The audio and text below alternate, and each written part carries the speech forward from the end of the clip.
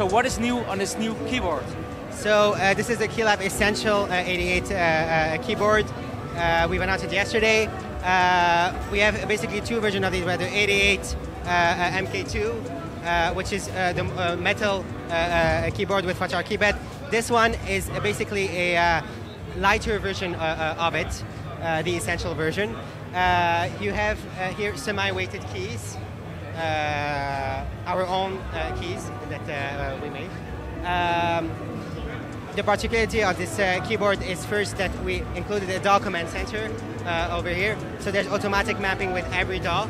Okay, so you can really use this to control your DAW. Yes, all the major DAWs. Yeah. Uh, we're also a famous famous for doing uh, software uh, plugins, uh, notably Pigments, uh, Analog Lab.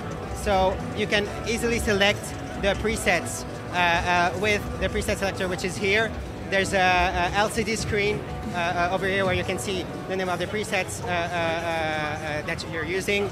Uh, Six drum pads as well included. Yes, you have eight uh, drum uh, pads Eight that are sensible to velocity and pressure uh, as well. Everything here automatically maps with Analog Lab as So well. if you connect this keyboard, you don't have to map it individually to, to buttons. It's automatic, automatically mapped to the software.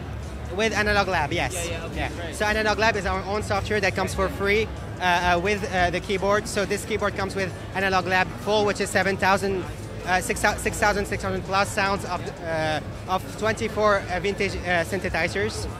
Uh, it comes also with uh, Ableton Live Lite, uh, which is a DAW, and uh, UVI Grand Piano, which is a, a piano uh, software uh, plugin. What, what will the resale price will be approximately?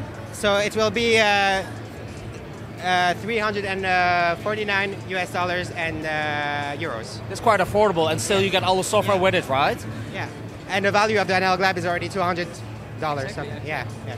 And at the back here, uh, you also have uh, uh, DC in, so you don't need to power it up with a computer to use it. Uh, you have USB, which is a, a regular uh, uh, USB uh, connection. The sustain pedal, and you have also MIDI out. So if you have uh, uh, if you use uh, any type of synthesizers, you can also control it with the keyboard. And those pads are also multicolored, I see, right? Yes, they're RGB. Red, Yeah, RGB color. Yeah. yeah. Great, thank you very much. No problem.